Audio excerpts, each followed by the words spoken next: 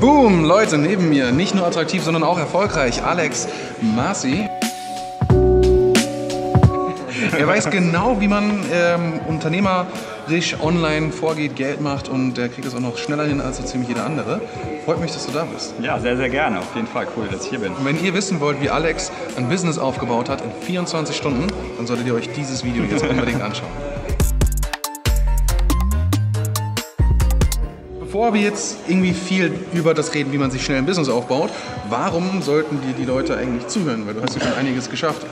Ja, genau. Also ich bin halt, äh, glaube ich, jemand, der sehr, sehr gerne Business aufbaut, aber es gibt unterschiedliche Typen. Es gibt auf der einen Seite Leute, die sind, äh, sage ich jetzt mal, die sind den ganzen Tag am Hasseln, die machen ganz, ganz viel. Und es gibt auch Leute, die, äh, die sind vielleicht ein, eher so wie ich. Ich bin so ein Typ, ich habe mal einen guten Tag, mal bin ich vielleicht auch ein bisschen unkonzentriert. Und deshalb habe ich von Anfang an mein Business so strukturiert, dass es mir sehr viel Freiheit gelassen hat. Weil ich manchmal diese Zeiten auch habe, wo ich hm. einfach mal eine Pause haben möchte ja.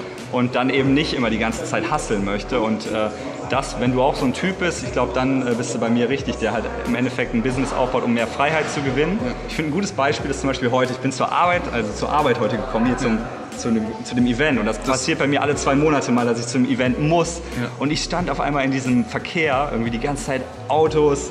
Äh, ich habe zwei Unfälle gesehen, ich war zu spät und ich habe gesagt, die ganzen Leute um mich herum, die haben alle keinen Bock auf ja. das, was sie eigentlich tun. So. Ja. Ich habe mich auch so gefühlt so ein bisschen. Ne? Ja. Und ich möchte Menschen einfach dabei helfen, eben Bock auf das zu haben, womit man sich beschäftigt, so und äh, einfach eine tolle Sache zu machen und damit auch noch gutes Geld zu verdienen. Okay. Ähm, was ich bei dir auch, also kann ich erstmal kann ich das sehr bestätigen, was ich auch immer wieder entdeckt habe, ist einfach, seit ich dich kenne, Freiheit ist so das Thema bei dir. Ne? Und ich mhm. habe auch viele Leute da draußen, die sagen, ich möchte gern ähm, mein Business auf- oder ausbauen, um eben diese Freiheit zu leben, zu sein, wo ich will, ähm, so viel Geld zu haben, dass ich meine Sachen machen kann, das, was ich möchte. Das war ja bei dir auch schon immer der Nummer eins Antrieb eigentlich, dass mhm. du dich wirklich komplett frei entfalten kannst, oder? Ja, auf jeden Fall, weil im Endeffekt ist es wichtig, dass man, also ich finde nicht wichtig, dass man irgendwie die Sachen macht, die einem Spaß machen, finde ich wichtig, aber vor allen Dingen finde ich wichtig die Sachen, dass man die nicht machen muss, die einem keinen Spaß machen mhm. im Leben. Ne? Ja. Das ist für mich Freiheit und dass man an jedem Ort sein kann und dass man mit tollen Menschen vor allen Dingen seine Zeit verbringen kann. Und das ist mir halt wichtig. Und auch, dass man sich auf die Stärken konzentrieren kann, die man hat. Und wo wir jetzt zum Beispiel das Business relativ schnell aufgebaut haben, mhm da haben wir wirklich uns nur auf die wichtigsten Faktoren konzentriert. Ja, erzähl mal, wie, wie, habt ihr das gemacht? Also wenn ich jetzt da draußen, da sitzen jetzt Leute, die sagen, ich möchte auch gern ganz schnell mein Business auf- mhm. und ausbauen.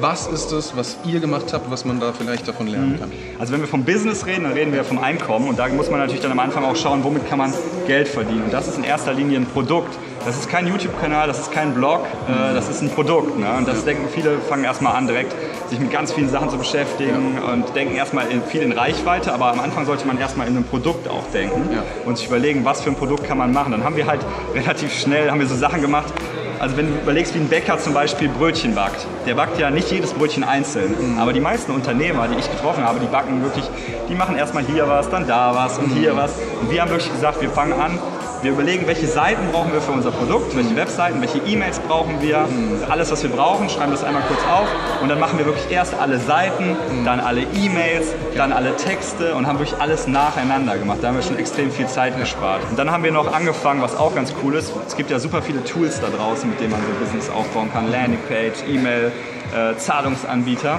Okay. Und dann haben wir überlegt so, was ist denn das Tool, mit dem man, sage ich mal, 90% der Sachen aufbauen kann, also fast alles, äh, wo man nur ein Tool braucht? Und dann haben wir das mit einem Tool aus den USA, ClickFunnels heißt das, haben wir das aufgebaut äh, und haben quasi diese ganzen, haben angefangen, diese ganzen technischen Hürden waren auf einmal weg. Klar, wir hatten nicht die perfekte Lösung. E-Mail-Marketing kann man mit einer anderen Software besser machen.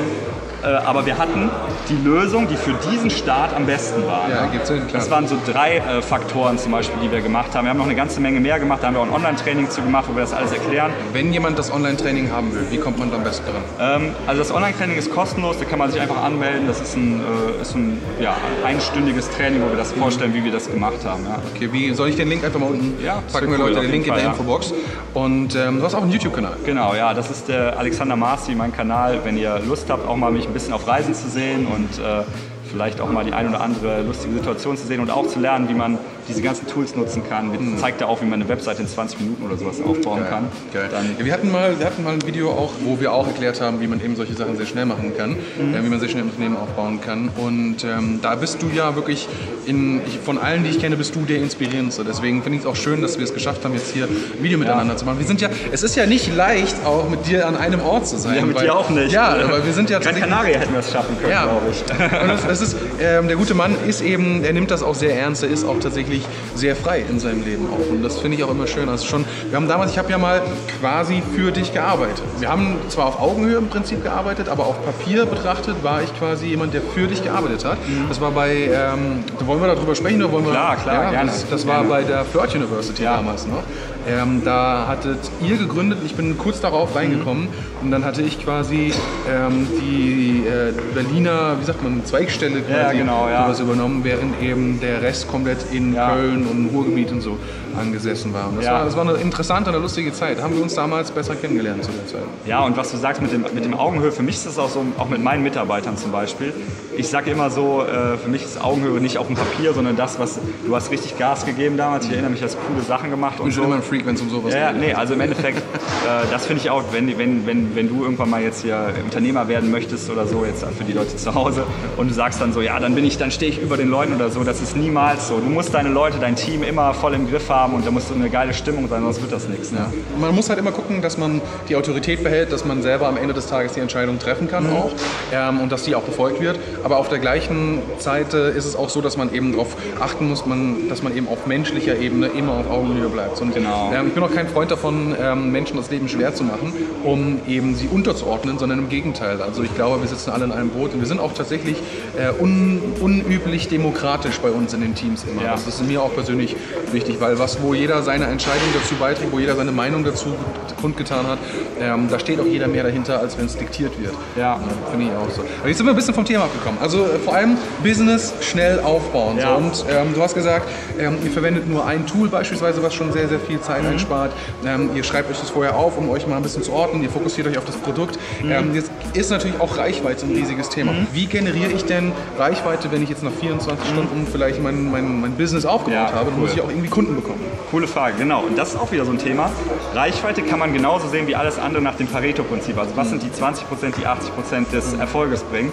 Und dann sollte man erstmal die Traffic-Quellen verwenden, die halt den größten Erfolg versprechen. Das sind bei uns, waren das Affiliates. Also wir haben halt mit dem Produkt, wir haben, haben das Glück gehabt, dass wir jemanden gefunden haben, der dann das Produkt mal einmal dafür Werbung gemacht hat, der ein sehr, sehr gutes Ergebnis erzielt hat. Und mit diesen Zahlen konnten wir dann hausieren gehen, konnten sagen, hey, wie schaut's aus? Wir haben dann auch noch was verlost an die Affiliates, haben, äh, haben, das, haben uns an die erstmal gewendet. Sagen, was, ich weiß es ja so, wenn, wenn, Ja, ja. wenn ich jetzt nicht, äh, wenn es nicht was Neues gibt, dann weiß ich ja, was es war.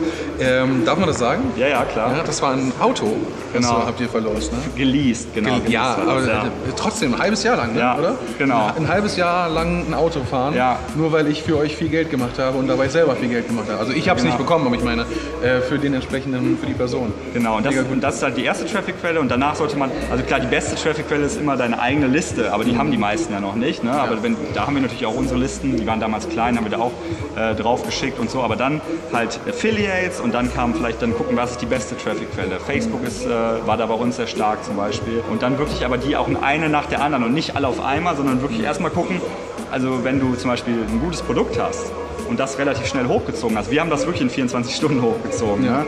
Das würde ich keinem empfehlen. Wir haben auf dem Video solche, solche Augenränder, so äh, Ringe. Aber ähm, wenn du ein gutes Produkt hast, dann ruf mal wirklich alle Affiliates an, die es gibt in Deutschland, die das vertreiben können. Du wirst da Leute gewinnen, die das auch vertreiben und dann verdienst du sofort Geld. Ne? Und wenn dein Produkt gut konvertiert, und da, da, da helfen wir natürlich Leuten auch bei, wie man das hinbekommen kann, dann äh, geht das durch die Decke. Ja. Super, super kompaktes und ähm, sowohl auf persönlicher Ebene informatives als auch wirklich ähm, für Leute da draußen, die schnell noch mehr Erfolg haben möchten. Ja. Ähm, sehr informativ. Äh, für jeden, der mehr von Alex sehen möchte, der Link ist in der Infobox, beziehungsweise sonst einfach mal eingeben, Alex Marcy bei YouTube, da findet man dich auch noch. Aber vor Ja. allem, äh, du hast gesagt, ein kost komplett kostenloser Kurs nochmal, wo man sich das Ganze auch nochmal anschauen kann. Genau. Den findet ihr dann auch in der Infobox. Alles klar, cool. Hat mich gefreut, dass du da warst. Sehr Ja. gut. Und wir sehen uns dann äh, beim nächsten Mal wieder. Und wir Alles sehen uns klar. jetzt noch. Bis Ciao. dann. Ciao.